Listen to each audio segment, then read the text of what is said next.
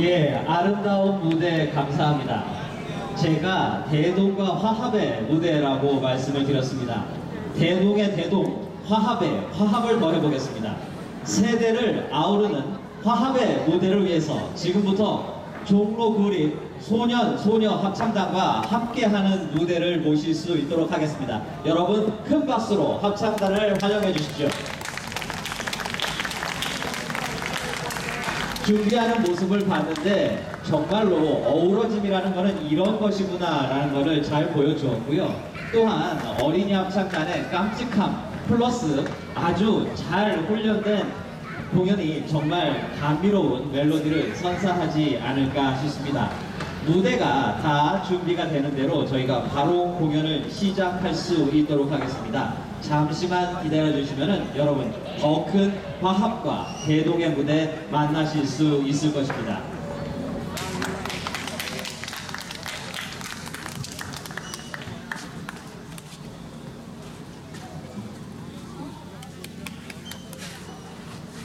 박수!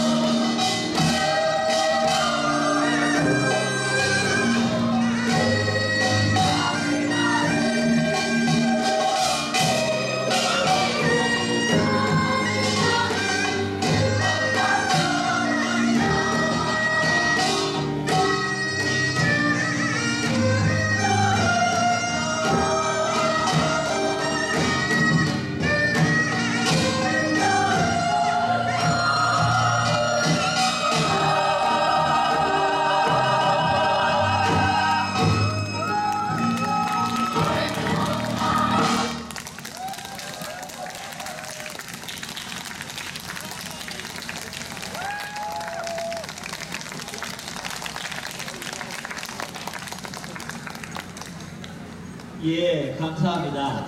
지금부터는